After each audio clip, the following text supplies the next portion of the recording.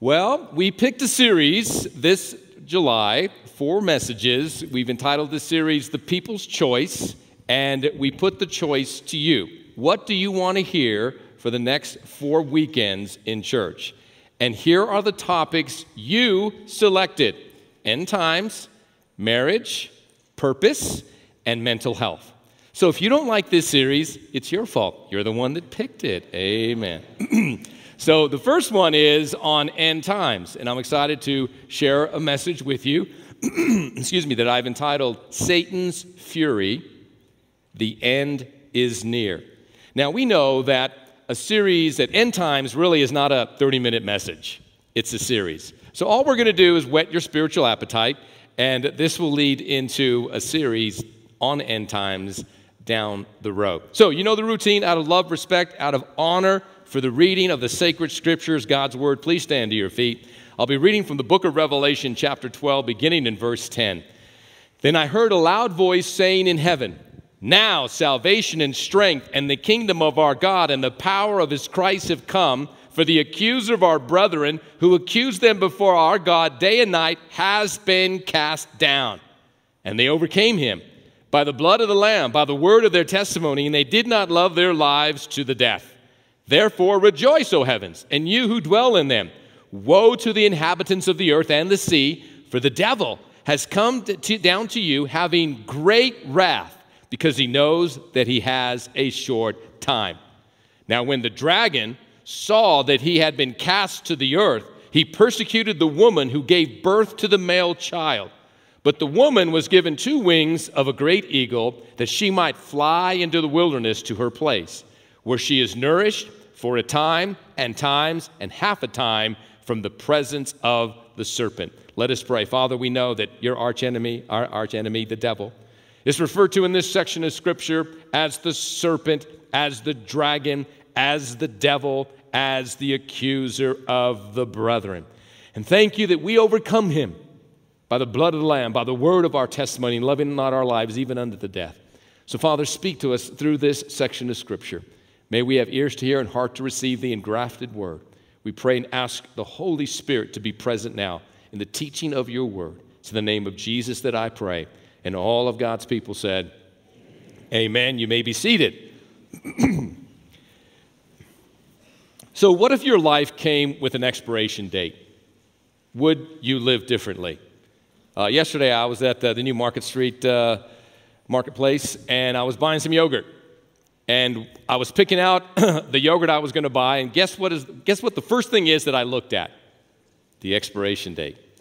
There was one that said July the 11th and one that said July 31st, the expiration date. Guess which one I left for you? I picked the July 31st. And I'm pretty much a stickler, you know. If the expiration dates, if it's past due, I throw it out, right? Some of you tempt the Lord in that way. so, an expiration date lets you know how much time is left. And really, when you think of our lives, our lives all have an expiration date. We just don't know the exact date. But what would change if you knew that you had six months, six years, or 60 years to live? Would you live any differently? You see, really, we should all embrace the brevity of life. Over the past month, two people I care about have passed on to be with the Lord one very close that's been a member of our church for the entire time that my wife and I have been here. And so it caused me to pause. It caused me to be thankful, really, for, for two groups of people for medical professionals who dedicate and spend their lives trying to preserve life, extend life, and save life. God bless you for that. But then when, when death comes, thank God for the bereavement industry. Thank God for those that provide loving care for a family who are grieving in the loss of their loved one and the services that they provide. And it just reminds us that every day is a gift from God. Every day we should be grateful. Every day we should be thankful. And we should live our life to the fullest. Because really, in the full scheme of things, whether you live to 20 or 40 or 60, 80 or 100, what is our life but a vapor? It appears for a little while and then it's gone. In comparison to eternity, our time in this world is very short and it's very brief, and that's why we must make the most of every opportunity because the days indeed are evil. Our time is short. Here in Revelation 12, the John the Revelator, inspired by the Holy Spirit, tells us that Satan has come down to the earth with great wrath. And the reason he's come down to the earth with great wrath is because he knows that his time is short and he is very angry. Hence, Satan's fury. He knows that he has a short time and he's not taking any days off and he's working around the clock to wreak as much havoc in the world as possible. And we can see the wrath of Satan throughout the Holy Scriptures. We see it in the book of Genesis. Before Adam and Eve, before Adam was created and Eve was made from Adam's side, the devil was already there. He had already been cast down to the earth. And Jesus said in Luke chapter 10, I beheld Satan fall like lightning to the earth. And he's come down, and it says, Woe to the inhabitants of the earth, because the accuser of the brethren has been cast down. And he knows his time is short. We see the wrath of Satan throughout the Bible, particularly in the story of Job. One man, one man that the devil picked on. Why? Because he seethes with anger and hatred for God and God's people. Really, for all people, because all of us are created in the image and likeness of God. And he accused Job falsely to God.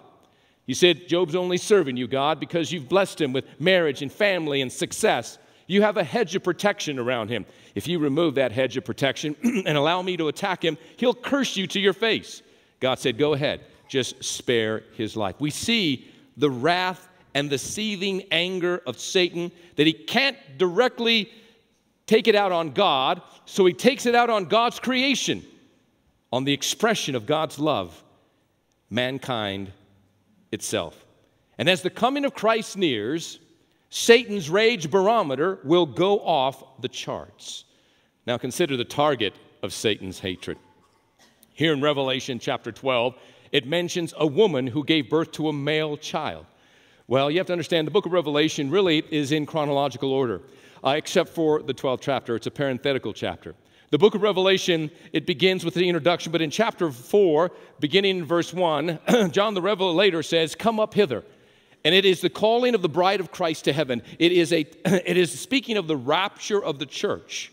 When the Bible says in 1 Thessalonians chapter 4, beginning verse 13, Paul said, I don't want you to sorrow as others who have no hope concerning those who have fallen asleep. Because if we believe that Christ died and rose again, we will rise together with him. For the Lord himself will descend from heaven with a shout, with the voice of the archangel and the trump of God, and we who are alive and remain shall be caught up together with those who are being raised from the dead in Christ and we shall meet the Lord in the air, and so shall we ever be with the Lord. Therefore, comfort one another with these words. That is Paul the Apostle writing to the Thessalonians, describing what is termed and what is known in the scriptures as the rapture of the church. You see, the second coming of Christ happens in two parts.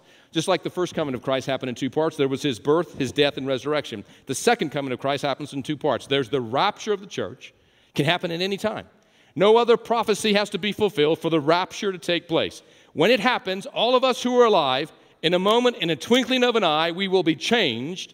We will be glorified. We will be transformed. Those who are dead in Christ will be raised from the dead. Their spirits and souls will come from heaven back into their bodies. All of us will have glorified bodies, and all of us together will be caught up to meet the Lord in the air, and we will forever be with the Lord.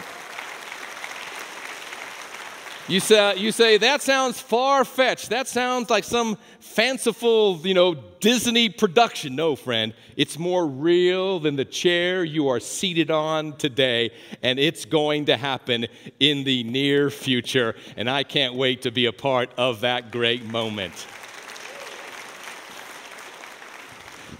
So, the book of Revelation, chronological order, begins with the rapture of the church because we're not appointed under wrath. And then the seven year tribulation period begins. Daniel's 70th week, talked about in the book of Daniel, spoken about by the prophets. Jacob, the time of Jacob's trouble, it lasts seven years. Seven years. The first seven, first half of the seven years, the Antichrist, this world uh, uh, force of power in the, in the world, will deceive most of the nations and most of the nations will follow him. And then the severity of the tribulation begins the last three and a half years. And the woman talked about here in Romans 12 will be given wings to be spared. That's speaking of the nation of Israel. The primary interpretation of the woman mentioned here in Revelation 12, the primary interpretation in context is Israel, speaking of how she gave birth to Christ the Messiah, but also as a spiritual application of the church, which is the bride of Christ. that the devil, the target of, of Satan's hatred, number one, is Israel. And the reason that Satan hates the Jewish people, and he's always hated the Jewish people, is because through the Jewish nation came the prophets, came the sacred holy scriptures. And through the Jewish nation came the male child, the Savior of the world. Satan has persecuted the Jewish people since the beginning of time, since they were slaves to Pharaoh in Egypt all the way up until the time of World War II and Hitler and the extermination and the Holocaust of six million plus Jewish people, to Islamists, radical Islamists today, Satan hates the Jewish people. If there is an ounce of hatred in your heart for the Jewish people, I want you to know that's the seed that Satan has planted in your heart, and you must strike it from your life as quickly as possible. The Jewish people are God's chosen people, and God has a plan still yet for the Jewish people. The second target of Satan's hatred is the New Testament remnant church. Satan hates the remnant church of Christ. Satan hates every born again believer in the world. You are the object of his seething anger and hatred. He can't get to God, so he attacks those that were created in the image and likeness of God and those who represent Christ in the earth today. But not only is Israel the target of Satan's hatred, and not only is the church and every Christian the target of Satan's hatred, listen to me very carefully America is the target of Satan's hatred. Satan hates the United States of America because America undeniably was based and built and has Christian roots. And it's the fact that we, in the history of the world, there's never been a nation like America that has proclaimed the gospel message around the world like these United States of America. And Satan hates our Christian heritage. Friend, don't fool yourself. It's not because of our, the sins of our past that we are such a hated and despised nation. It's because we are the greatest beacon of hope and freedom and liberty the world has ever seen. And that, my friend, is directly result, related to our Christian heritage. Think of it. What the fascist Axis powers of evil could not do in World War II, what the communist totalitarianism regimes couldn't do in the 60s and 70s, what the radical Islamist terrorists couldn't do in the 2000s, namely destroy America the liberal, progressive, God hating, anti American movement of the past generation, and more recently, over the last 36 months, has been able to all but drive a stake in the heart of Lady Liberty. But I'm here to tell you today that God is in the resurrection business, and God can reawaken revival in America. I don't believe He's finished with us yet. Now, listen to me very carefully. Our mission as Christians, you've heard me say this over the past year. Our mission as Christians is not to save America, but to save Americans. And not just Americans, all souls around the world. But we're called and we live in America. So our mission is not to save America, our mission is to save Americans. And in the process of saving Americans, we might just be able to save America. God bless America.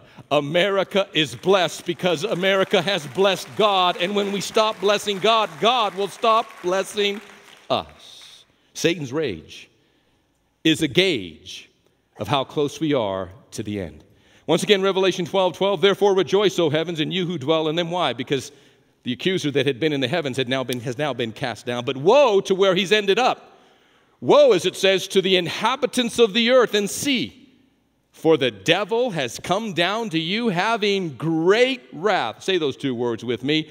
Great wrath. Say them again. Great wrath. Why? Because he knows that he has a short time. This verse has fascinated me for really the last 40 years of walking with Christ. I've never heard a sermon on it, and I've never preached from this section of Scripture before. So I looked up the word wrath, great wrath, the wrath of Satan. And that word wrath, the way it was used in ancient Greek, it speaks of extreme anger. He is furious, he is seething with anger. His heart and liver are literally on fire because of the anger he has towards God, towards Israel, towards the church, and towards a country like America that preaches the good news of Jesus Christ. And Satan knows his time is short. Since the inception, since the beginning, he knows his time is short. In Matthew 8 29, the demon spoke out of a man who was being set free of these demons, and the demon said, Have you come here to torment us before our time? The devil knows there is an appointed time when he and all of his fallen angels, one third of the angels, fell with him in the great rebellion in heaven. And there was a great war in heaven spoken about here in Revelation 12. Once again, Revelation 12 is a parenthetical chapter. It speaks of what has happened, what is happening, and what will happen, all in that one chapter. He was cast down. He was defeated by Michael and, his, and, and, and, Michael's angels. And so now he knows that the day is coming when he and his angels will be thrown in the lake of fire, where there will be burning and suffering throughout eternity. Jesus said this out of his own mouth. Jesus said, Hell was not created for the devil and his. Hell was created for the devil and his angels, not for man. And yet, Satan is doing everything he can to drag as many souls of men with him and his fallen angels to that lake that burns with fire and brimstone. Thank God you're not going there. We're not going there. Jesus made a way, and the way is the cross of Christ. And if we'll put our faith and trust in him, hallelujah, we're going to go to heaven and not hell. Turn to your neighbor and do a little evangelism and say, Thank God you're not going to that place called hell. Come on. Thank God you're not going there. And if they're doubtful, say, I won't let you go there. Hallelujah. Drag him to the cross, get him saved. Amen. Satan's rage, Satan's wrath, Satan's anger, his fury is directly attached to the countdown clock, which is running out, and so he's lashing out. The distance between now and the end determines his level of rage, and that's why we know we're in the last of the last days. In proportion to his time shrinking, his intensity and intention for evil in the world will only increase. So, what can we learn from our enemy, from the devil himself? As he sees his day approaching, how should we live our lives as we see the day of Christ approaching? There are two particular days mentioned in the Bible the day of the Lord or the day of God. That's, how, that's actually mentioned in the Old Testament the day of the Lord, the day of God, and the day of Christ, which is only mentioned in the New Testament. The day of Christ. Those are two different days. One day is a day of wrath and judgment, another day is a day of blessing and rejoicing. You and I, who know Christ, love Christ, and are serving Christ, we, will, we are not appointed to the day of God's judgment or the day of God, which is really the seven year period or the last three and a half years of the seven year period of tribulation described in the book of Revelation. We will be a part of the day of Christ. The day of Christ speaks of the rapture of the church. The day of Christ speaks of us going up to heaven because you see, the Bible says in the book of Revelation 19, prophesied by Enoch long ago, spoken of by Jude in the book of Jude, the Lord will return with ten thousands of his saints at the second coming, at the battle of Armageddon. The Lord will return with ten thousands of his saints. How can the Lord return with ten thousands of his saints unless he's first come for his saints? So at the rapture of the church, he comes for his saints. And then at the second coming, he comes back with his saints. So we will be a part of that day called the day of Christ, which is the rapture of the church, which I described a moment ago. So that's why, look at Hebrews 10:25 and let's read this verse out loud together. Not forsaking the assembling of ourselves together, as is the manner of some, but exhorting one another, and so much the more as you see the day approaching. The day, what day? The day of Christ, the day of the rapture. The day of us being called, Jesus said, I go to prepare a place for you. And if I go and prepare a place for you, I will return again, that where I am, there you may also be. And we live every day in hope. This could be the day or not. We're going to live as though it's, you know, you should live every day as though, as though it's your first day and your last day. You should live every day as though Christ is coming back today, and you should live every day, or you should plan for the future as, as though He's not coming back for your lifetime. But we live in anticipation for the great and glorious day of the coming of Jesus Christ, and we, would, we should live with a sense of urgency. We should live with this sense of realizing there is an expiration date. There is a, our time is short, and we need to make the most of the time that's been allotted to us. Now imagine this Satan's rage, Satan's fury, the wrath of Satan. All the slaves of Satan can get nothing for their service. They get nothing except condemnation and damnation. According to Scripture, Satan is number one man's tempter. Number two, man's accuser. And number three, man's tormentor. Satan has lost every battle. He lost his battle in heaven. He lost his battle in the garden. He lost his battle at the cross. He lost his battle at the resurrection. He lost his battle on the day of Pentecost. He's lost, you know why he's so angry? Because his pride has been injured, because he's lost every battle, and the one that counts the most, he's going to lose that. He's a loser. That's why he's so angry. And thank God we're on the winning team, not the losing team. And he knows his time is short. Why is there so much evil in our world? It's right here, Revelation 12 12. Because the devil has come down to you. Woe to the inhabitants of the earth and the sea, because the devil has come down having great wrath, because he knows his time is short. And herein lies the clearest explanation for the concept of evil in the world. All hatred, all perversion in the world has a source, and its source is Satan. And the Bible says he is a powerful foe. Jesus said he's a king over a kingdom, and his kingdom is not divided, it's united. He's well organized, he's highly skilled, he has strategies.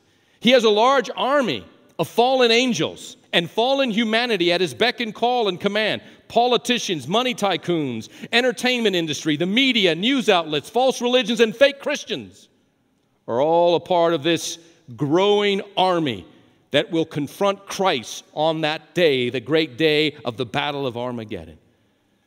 So he knows his time is short. What time? If you look up the word time in the Greek New Testament here in the book of Revelation, it's not chronos, which means chronological time. Like, what time is it now? 1206, and my time is short, so I got to hurry up. His time is kairos. What time is it that the devil, kairos is a, not a chronological amount of time, it is a season, a moment, and he, he senses and he knows. He doesn't know the day or the hour. No man knows the day or the hour of Christ's return except the Father. But he knows it's getting close. And he's known it for 2,000 years. And listen, if the coming of Christ was close 2,000 years ago, imagine how close it is today. So, what time is it? Kairos.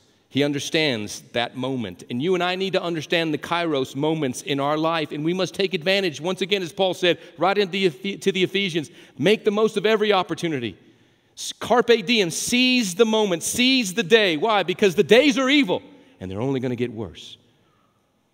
Satan is angry. And I'll tell you what makes him angry. And I think it's our job to make him more angry every day. Every day you should wake up and say, Lord, how can I make the devil more angry? Here are some ways. Satan is angry when in your marriage you love one another. Satan hates marriage because it's a miniature replica- repl- replication of the kingdom of God and the marriage of Christ in the church. He hates biblical marriage. He hates your marriage. He's angry when your marriage is filled with love. So let's make the devil more angry than he's ever been. Let's love our spouses and love our families unlike we've ever loved them before. Get all animosity and anger and hatred out. Satan is angry when children are raised in a loving home with their father and their mother. He hates that. Satan is angry when kids are being raised in the fear and admonition of the Lord. Why? Because he's angry and he hates kids. Satan hates children. Why? Because there's a mark, there's a target on every one of your kids. What's the target? What's the mark? Jesus pulled a kid aside and said, For such is the kingdom of heaven. Children remind the devil of God's kingdom and those who are deserving of God's kingdom, and he knows he will never be a part of God's kingdom again. And so he hates children. He's angry. He's angry when you love your neighbor because he wants you to judge your neighbor, he wants you to hate your neighbor. He thrives on discord and division in homes and churches and in businesses. Paul the apostle said, Where there's envy and strife, there is every evil work. Wherever there's envy, wherever there's strife, it opens the widest door to allow Satan and all of the demons of darkness to come into that relationship or the lives of those people. He rages against all joyful Christianity, all joyful Christians. There's nothing that makes the devil more angry when your life is defined by the joy of the Lord. Don't let the world, the flesh, or the devil steal your joy, friend. Rejoice in the Lord always. And again, I say rejoice, for the joy of the Lord is your strength, and the joy of the Lord is the proof and the authentic evidence of your salvation. Because we have his joy. He rages against all sound biblical teaching. And ladies, he rages against the uniqueness of your God given fem- femininity. Embrace your femininity, embrace the uniqueness of how God designed, created, and made a woman. And men, Satan rages against the attractiveness of your God given masculinity, biblical manhood, biblical masculinity. God wants you to take it back. God wants you to embrace it. And God wants you to be the man that He's called you to be. Paul said, When I became a man, I put away childish things. Let us be the men that God's called us to be. He rages against your success, your health, your happiness. He gloats in people's sickness and disease and poverty. And He rages against our freedom in Christ. He wants you strapped down by legalism, by man made religions and man made traditions. But you must know the devil is defeatable. You must know that victory is promised and victory is achievable through Christ Jesus. And in closing, I want to give you the three keys to victory over Satan in these last days. Three keys to victory over Satan in these last days. One, number one, you overcome him, number one, by the blood of the Lamb. By the blood of the Lamb. It said they overcame him by the blood of the Lamb. The blood of Jesus has power. Oh, what can wash away my sins? Nothing but the blood of Jesus. What can make me whole again? Nothing but the blood of Jesus. Thank God for the shed blood of Christ on Calvary and the power that's in that blood. It's what defeats the accuser of the brethren. The devil says you're no good. How could God love you? Matter of fact, He doesn't love you. How can you call yourself a Christian? You know what you're struggling with. You know what you, where you've been. You know what you've done. You know what you're doing. You're not even worthy to read the Bible. You shouldn't even go to church. Constantly, 24 7, the devil accuses you, but you and I can overcome the accusations of the devil by the shed blood of Christ. Hallelujah. Because no matter where you've been or what you're doing, or how you're thinking or what you're struggling with, if you're a Christian, God sees you through His Son. He sees you through the blood of Jesus Christ, and you and I stand before Him without spot, wrinkle, or blemish, or anything. We can walk before God without any condemnation. And friend, it's not a license to go out and sin anymore. But Paul said, where sin abounds, grace does much more abound. I've said it before. You'll run out of sin and ways to sin before God will ever run out of grace and mercy that He provides whenever we repent.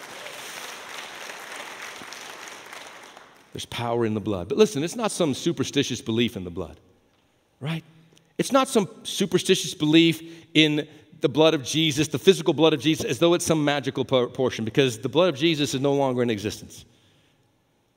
So, what is powerful about the blood of Jesus? Now, his literal blood, like the literal blood of Jesus, was the purest. It was the blood of God, the Bible says. But the literal blood of Jesus doesn't save, if it did, then that blood that was splattered on the Roman soldiers as he was being nailed to the cross, that blood upon those soldiers would have atoned for their sins. So it's not some magical potion, some abracadabra. The blood, when the Bible speaks of the blood of Jesus, it speaks, listen, of the death of Christ. The atoning work of Jesus is in the shedding of his blood or the shedding of his life. For the Bible says, without the shedding of blood, there is no forgiveness of sins, and the life of the flesh is in the blood, the book of Leviticus tells us. So when the Bible speaks of the blood of Christ, it speaks of his substitutionary sacrificial death on Calvary. And it's because he died a physical, literally, physically died a physical death on that cross and conquered death and was raised on the third day. And now, seated at the right hand of the Father, it's because of his sacrificial life that all of us can have assurance of our salvation now and forever. Signed, sealed, and delivered, paid in full. Hallelujah. By the shed blood of Jesus. I love what Charles Spurgeon said. He said, These saints use the doctrine of atonement. Atonement, cleansing of our sins through the sacrificial work of Christ, is what atonement means. Not as a pillow to rest their weariness, but as a weapon to subdue their sin. Thank God for the weapon and then the power that's in the blood of Jesus. But it's not as though we plea the blood of Jesus. I've never liked that term. I've never used that term. And some Christians use that term. No judgment. God's not going to get mad at you if you say that. But we don't plead the blood of Jesus, we declare the shed blood of Christ and the victory that Christ won for us on the cross. And what has power when you speak to demons is not pleading the blood, it's saying, In the name of Jesus of Nazareth, come out. Hallelujah. There's power in the name. So, how do we overcome Satan? Number one, by the blood of the Lamb. Number two, we overcome him by the word of your testimony. By the word of your testimony. Or you could say it this way we overcome Satan by the word that is shared through our testimony because it's the word, the living word of God, that defeats the devil every time. The word of your, there's nothing as powerful as you sharing your testimony of how you came to faith in Christ. You say, well, you know, Pastor Carl, I don't have a testimony because you haven't been saved. We can fix that today. Amen. Because once you come to the realization that you're a lost sinner in need of a Savior, even if you were raised in a Christian home, there was a time when your heart warmed within you. A, a, a, a statement that John Wesley himself made. Charles Wesley and John Wesley, these great brothers, missionaries, they were, they were winning souls to Jesus before they ever became Christians themselves. And they were on a boat one time and they heard these uh, missionaries talking about their testimony, their faith in Christ. And he said this He said, My heart was strangely warmed within me. And he realized that he didn't know Christ yet. He knew him here, but not here. And so he surrendered his life to Jesus and was gloriously born again. There's power in you sharing your testimony, however, wherever, and whenever the opportunity presents itself. And every one of you have a testimony of how Christ came into your life and saved your life. And it's when you share the word in the testimony, like the great John Newton. He wrote the greatest Christian hymn. He was a former wretched, heathen, sinful man, a slave trader, and he got saved and he repented for his slave, evil slave trading ways, his sinful ways, and he wrote the song Amazing Grace, how sweet the sound that saved a wretch like me. I once was lost, but, but now I'm found. I was blind, but now I see. His testimony. He spoke the word of God's power through his testimony, and that's how you overcome the devil by the blood of the Lamb, by the word of your testimony by making sure that, as it says in Matthew 10 32 and 33, that you unashamedly confess Christ before men. And Jesus said, If you'll confess me before men, I'll confess you before my Father's holy angels one day. But he gave a warning. He said, If you deny me before men, then I'll deny you before my Father. The power of the word in your testimony. One of the greatest testimonies recorded in the Bible is in John chapter 9. There's this man that was born blind. Jesus, one day, out of mercy and grace, without him even asking for it, just heals him, and all of a sudden he can see. It was a, such a notable miracle, it stirred up the entire city and synagogue and all the people. And the Pharisees were so angry, and they interrogated this man. They wanted him to deny that Christ was a good man. And they kept pressuring him. He said, Listen, I don't know if he's a good man or a bad man. Here's all I know I was blind, but now I see, and that guy did it. And he, he has this transformation. He goes, and you can see this in John 9, he goes from calling Jesus a man to a prophet, and he ends up calling him the Son of God. He ends up coming to personal faith in Christ because of his encounter and experience with the power of Christ in his life. And it was by the word of his testimony. Another great example is in Mark chapter 5. This man of Gadara he was so demon possessed that they couldn't contain him, restrain him. They put chains on him, and he had supernatural strength to break those chains because of the demons living inside of him. He lived in the tombs with the dead. He had no clothes on. He was a wild, crazy man. True story, Mark 5, Mark chapter 5, Gospel of Mark chapter 5. Jesus comes, sets him free.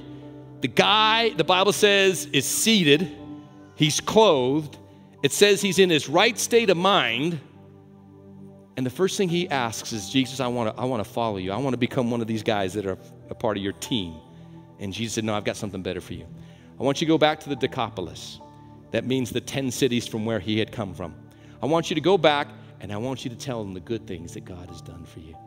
So this former demon-possessed guy had, had, a legion of demons, anywhere from two to six thousand, because two thousand a herd of pigs, two thousand pigs. The demons, when when Jesus cast the demons out of this guy, they went into that herd of pigs, and the herd of pigs went and drowned themselves, and the whole town was like, "Jesus, please leave, don't ever come back." They were more afraid of Jesus than they were of this crazy wild man living in the in the in the graveyard, right? So he goes back and he shares his testimony. They overcame him by the blood of the Lamb by the word, the word in their testimony. And finally, number three, we overcome him by loving Christ to death. By not loving our lives to the death, which means you love Christ so much. If, if it came between your life and Christ, you would always pick Christ and you would give your life. Hopefully, none of us will ever be challenged in that way. Living in America, for the past hundred plus years, we haven't had to be challenged that way. But there are our brothers and sisters in Christ in China, North Korea, parts of the Middle East, Iran, where they are persecuted for their faith, imprisoned for their faith, and yes, even killed for their faith. But that's how you overcome. You overcome the accuser of the brethren by the blood of the Lamb, by the word of your testimony, and that you love Christ so much, you love him that you're willing to give your life as he was willing to give his life for you. True story. John Chrysostom was a great early church father, a Greek convert to the Christian faith. And he was arrested by the emperor one day, and the emperor wanted to get this early church father to, to recant his faith. And so he asked his advisors, How can I do it? He said to his advisor, Should I throw him in the deepest, darkest dungeon that we have? And they said, Oh, no, no, that wouldn't work, Emperor. This man so loves God, you would only be doing him a favor by giving him the solitude so he can pray and meditate till his death. He said, Then I'll I'll execute him. That's what I'll do. I will, I will execute him before all the people. And they said, No, no, that would be doing him a favor because that would be sending him to heaven. He said, Well, what can we do? He said, The only way you could defeat him because he loves his God so much, is get him to sin. If you can get him to sin, you will break his heart because John Chrysostom so loves his Savior. They overcame him by the blood of the Lamb, by the word of their testimony, and because they loved Christ to the point of death, if need be. And as the Apostle Paul said, to live is Christ and to die is gain. I hope in these last days we'll understand that our time is short. Christ could come today, could come tomorrow, it could be the next 10 years. But we're to live each day as though Christ is coming today, and we're to plan our future as though Christ is not coming back in our lifetime. And we must seize the day, carpe diem, for the days are evil, and that's why we must make the most of every opportunity. Every head bowed, every eye closed.